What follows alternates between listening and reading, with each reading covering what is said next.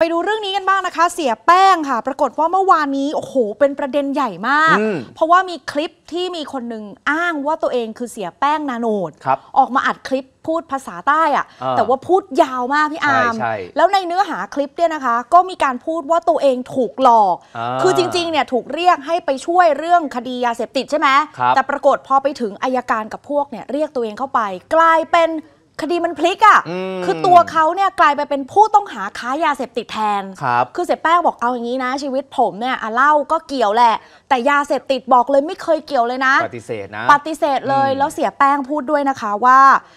วันปะทะบนเขากับตำรวจอะคือตำรวจอะจริง ๆ ไม่ได้ตั้งใจจะไปจับเป็นนะอ่าจะไปวิสามันผมโอ้โหขนาดนี้เลยเออคือเหมือนเอามาแฉแบบนี้เลยนะคะครับเอาลองฟังบางช่วงบางตอนของเสียแป้งค่ะ วันนั้นอายการ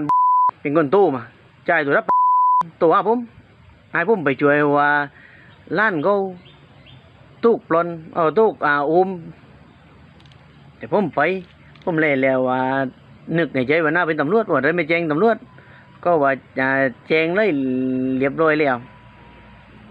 แต่จริงๆก็ไม่ได้แจ้งครับก็รู้ว่ามาอุ้มเรื่องยาเสพติดปล่อยจะรวดเป็นการยาเสพติดแล้วโลกไอ้พุ่มก็ไปไปอุ้มบอกไม่ใช่ตำรวจเป็นโจร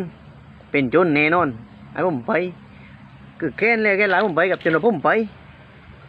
ไปตึงเจอกับตำรวจกับสินี่ไอ้การคนใจผมผมไปกับไอ้การประธานมันโตมาพอนี่มาพลิกเลยผมมาผมเรื่องยาเสพติดสวัสดีครับ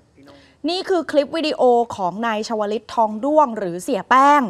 คือเมื่อวานเนี้ยพอออกมาแบบเนี้ยค่ะ คือเสียแป้งในยถ่ายคลิปเนาะแล้วก็ส่งให้ผู้สื่อข่าวมีการแฉข้อมูล แล้วมันกลายเป็นประเด็นใหญ่มากเพราะเขาส่งต่อกันไปหมดแล้วเป็นข่าวหมดเลยครับว่านี่คือการปรากฏตัว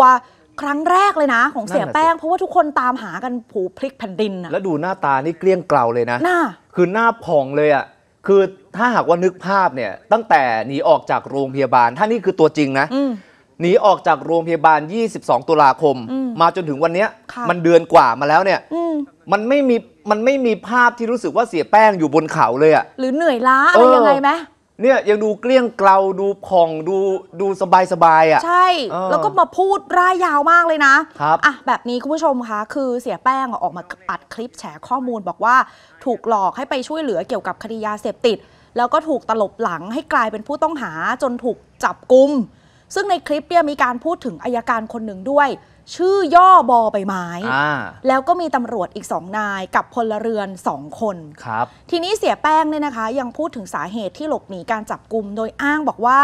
ตัวเองไม่เคยเกี่ยวข้องกับเรื่องยาเสพติด แล้วที่ผ่านมาเคยทำหนังสือถึงกระทรวงยุติธรรมมาหลายครั้ง เพื่อจะขอความเป็นธรรม และขอให้ดำเนินคดีกับตำรวจมือปราบยาเสพติดเมืองพัทลุงที่ตบทรัพย์ รีดเงินบาป กลั่นแกล้งยัดข้อหา แต่ว่าทางผู้บังคับบัญชาไม่มีการตรวจสอบหรือดำเนินการอะไรอลองฟังเสียงอีกสักรอบหนึ่งค่ะผมไม่เคยโตคดียาเสพติดแม้แต่ทักคดีเดียวกับ และไม่เคยเกี่ยวข้องกับเรื่องยาเสพติดตั้งแต่มารู้จักไหมเคยกินเหล้าไหมกับพวกยายาเสพติดกับผมกินผมรู้จัก แต่ผมไม่เคยขายกับ ไม่เคยค้าและยาเสพติดตีว่าพบตีว่า ตำรวจขึ้นมาจุดประทานครับยาเสพติดก็เกี่ยวไม่ใช่ของผมครับอืมตรวจดีนี่เลยแต่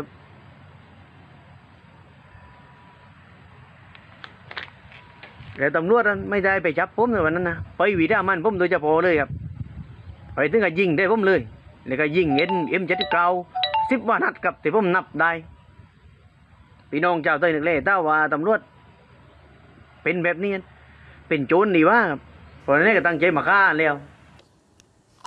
แล้วก็เสียแป้งนะครับยังพูดถึงเหตุการณ์วันที่มีการประทะกับตำรวจบนเทือกเขาบรรทัดนะครับ บอกว่าตำรวจเนี่ยตั้งใจไปวิสามันเขาโดยเฉพาะมากกว่า ที่จะเข้าไปจับกลุ่มเพราะเสียแป้งเขาบอกว่าตำรวจมีการยิง M79 10 กว่านัด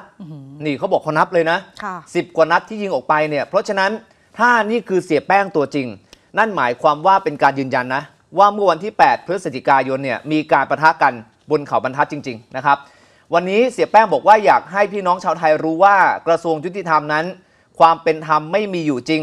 ถ้ามีอยู่จริง ช่วยเอาอายการบอใบไม้ และพวกไปดำเนินคดี แล้วจะกลับไปมอบตัวทันที เหมือนกับเป็นเงื่อนไขนะ ล่าสุดเรื่องนี้ทางพลตำรวจเอกต่อศักดิ์สุขวิมลพบตรนะครับ ท่านสั่งเลยให้สอบที่มาที่ไปว่า คลิปนี้ใช่คลิปจริงหรือไม่ พร้อมเร่งติดตามจับกลุ่มตัวมาดำเนินคดีนะครับ ส่วนเนื้อหาในคลิปที่มีการกล่าวพาดพิงไปถึงหลายฝ่ายทั้งตำรวจทั้งอายการ ท่านก็บอกว่าคงต้องตรวจสอบว่าข้อเท็จจริงเป็นอย่างไร ผิดถูกว่าไปตามพยานหลักฐาน ต้องทำความจริงให้ปรากฏ ให้ความเป็นธรรมกับทุกฝ่าย ซึ่งถ้าตำรวจทำผิดจริง ก็ต้องถูกดำเนินการอย่างเด็ดขาด ทั้งทางวินัยอาญาและทางปกครองด้วยนะครับทางด้านพลตำรวจโทอิทธิพลอัจฉริยประดิษฐ์ค่ะ ผู้ช่วยพบตรในฐานะผู้รับผิดชอบการปฏิบัติการไล่ล่าเสียแป้ง มีกำลังสอมีกำมีคำสั่งถอนกำลังชุดปฏิบัติการบนเทือกเขาบรรทัด แล้วก็พื้นที่บ้านในตระลงมายังเบื้องล่างด้วยนะคะ ก็ประกอบไปด้วยตำรวจชุดปฏิบัติการพิเศษซิงก้า ของหน่วยเฉพาะกิจตำรวจตระเวนชายแดนที่ 43 จังหวัดสงขลาตำรวจชุดแดนไทย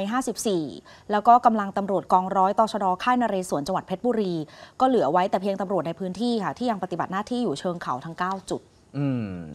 โอ้โหหลังจากคลิปนี้ปรากฏขึ้นมาเนี่ยแน่นอนว่าเสียงมันแบ่งออกเป็นสองสองฝ่ายหลักๆ ฝ่ายหนึ่งก็บอกว่าไม่เชื่ออว่านี่คือเสียแป้งค่ะอันดับแรกคือบอกไม่เชื่อก่อนนะบอกต้องไปตรวจสอบ อีกส่วนหนึ่งเชื่อว่านี่คือเสียแป้ง แล้วก็เชื่อได้ว่ามีเจ้าหน้าที่รัฐไปเกี่ยวข้องกับเรื่องนี้ ก็คือเหมือนเชื่อสิ่งที่เสียแป้งพูดอะเอออะเพราะฉะนั้น หลังจากนี้คงต้องรอดูนะ ว่าค่ะกระบวนการจะมียังไงจะสามารถเอาผิด แล้วก็จับกลุ่มตัวเสียแป้งเนี่ยกลับมาดำเนินคดีได้หรือไม่นะครับติดตาม PPTV HD 36 ได้ทุกช่องทาง และอย่าลืมกด subscribe พร้อมกดกระดิ่งแจ้งเตือนด้วยนะครับ จะได้ไม่พลาดข่าวสารและคอนเทนต์ดี ๆ อีกมากมาย